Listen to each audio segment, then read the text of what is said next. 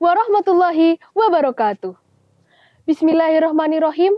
Innal hamdalillah nahmaduhu wa nasta'inuhu wa nastaghfiruhu wa na'udzu billahi min syururi anfusina wa min sayyiati a'malina.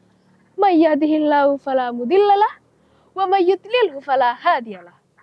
Asyhadu an la ilaha illallah wahdahu la syarikalah wa asyhadu anna Muhammadan abduhu wa rasuluh amma ba'du.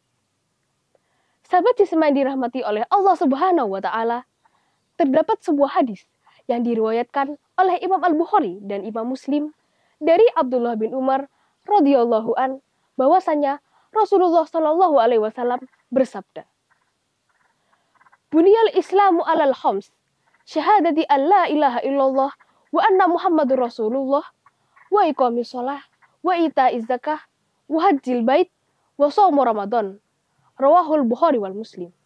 Yang artinya, Islam itu dibangun atas lima dasar, yaitu persaksian berupa syahadat bahwa tidak ada Tuhan yang berhak disembah kecuali Allah Subhanahu wa taala dan Nabi Muhammad merupakan utusan Allah, menegakkan sholat, menunaikan zakat, haji ke Baitullah, dan puasa di bulan Ramadan.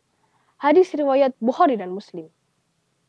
Sahabat Cisman dirahmati Allah Subhanahu wa taala, berdasarkan hadis tersebut, Rasulullah Shallallahu Alaihi Wasallam menyampaikan kepada kita bahwa ibadah puasa di bulan Ramadan adalah bagian dari rukun Islam dan merupakan pilar agama yang tidak boleh ditinggalkan oleh siapa pun. Namun, jika kita terpaksa untuk meninggalkan puasa di bulan Ramadan, maka harus ada alasan yang logis dan dibenarkan dalam Islam. Mengapa puasa tersebut harus dibatalkan sebelum waktu berbuka atau tidak berpuasa selama bulan Ramadan? Sebagai contoh, ibu hamil atau ibu menyusui yang khawatir akan keadaan bayinya jika dia berpuasa selama bulan Ramadan. Dalam kasus ini, maka ia boleh membatalkan puasanya atau tidak berpuasa selama bulan Ramadan. Selain itu, terdapat juga beberapa golongan yang diperbolehkan juga untuk tidak berpuasa selama bulan Ramadan atau membatalkan puasanya sebelum waktu berbuka.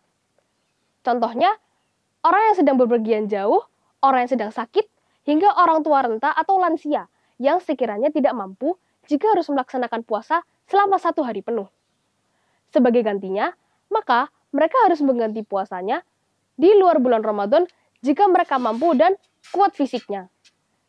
Jika tidak, maka mereka harus menggantinya dengan membayar fidyah atau memberi makan kepada sejumlah orang miskin sesuai dengan golongan di mana mereka berada.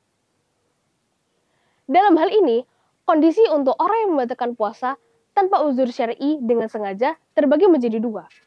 Yang pertama adalah golongan orang yang membatalkan puasa tanpa uzur syar'i dan disertai pembangkangan terhadap puasa tersebut. Jika or terdapat orang yang di golongan ini, maka mereka wajib untuk ditegur atas kehilafannya. Jika tidak, maka ia akan dianggap sebagai orang yang fasik. Yang kedua adalah golongan orang yang membatalkan puasa mereka tanpa uzur syar'i dengan sengaja, namun tidak disertai dengan pembangkangan terhadap puasa tersebut. Dari penjelasan ini, hukum dari membatalkan puasa tanpa uzur syar'i dengan sengaja adalah haram dan berdosa, karena ibadah puasa di bulan Ramadan adalah bagian dari rukun Islam dan merupakan pilar agama yang tidak boleh ditinggalkan tanpa alasan yang syar'i. Sahabat Sisma dirahmati Allah Subhanahu wa taala, marilah kita berzikir menjelang berbuka. Bismillahirrahmanirrahim. Asyhadu an la ilaha illallah, astaghfirullah, nas'aluka ridhaka wal jannah wa na'udzubika min sakhatika wan nar. Asyhadu an la ilaha illallah, astaghfirullah, nas'aluka ridhaka wal jannah wa na'udzubika min sakhatika wan nar. Asyhadu an la ilaha illallah, Astaghfirullah, nas'aluka ridhaka wal jannah wa na'udzubika min sakhatika wan nar. Allahumma innaka afuwun karim, tuhibbul afwa fa'fu anna. Allahumma innaka afuwun karim, tuhibbul afwa fa'fu anna. Allahumma innaka afuwun karim, tuhibbul afwa fa'fu anna ya karim. Selamat berbuka puasa. Semoga amal ibadah kita di bulan Ramadan ini diterima oleh Allah Subhanahu wa taala. Wallahul muwafiq ila aqwamit thoriq. Wassalamualaikum warahmatullahi wabarakatuh.